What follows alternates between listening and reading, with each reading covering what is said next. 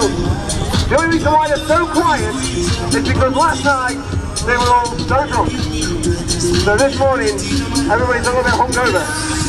In a minute, I'm going to put the uh, soothing sounds and whale music on to help the headache.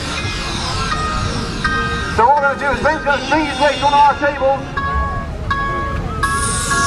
Straight up to the front wheel watch control there. You can see how wet that equipment is now. So Ben swings the paper across our balance beam. It's less than six inches wide.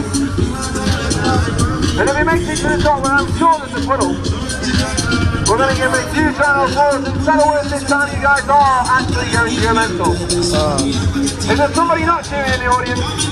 Give them some chip and tell them to get cheering to warm up. Fencing across the balance beam all the way to the top, you can see the puddle. In fact, that old Ben was very scared. There's a, there's a puddle. Oh yeah. So, what goes up must come down, so eventually it's going to come from the top. Now guys, on the way up, we made it look way too easy.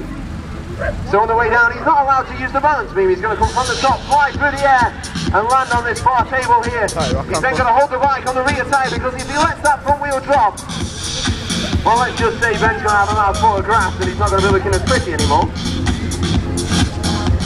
Did you hear that, Ben? I gave you a compliment. I said you were pretty. That pink helmet. So Ben flies to the air, makes it out to the floor, guys. Let's make some noise! Woo! All way down to the floor. Awesome there from Ben Slinger. Have you done this before?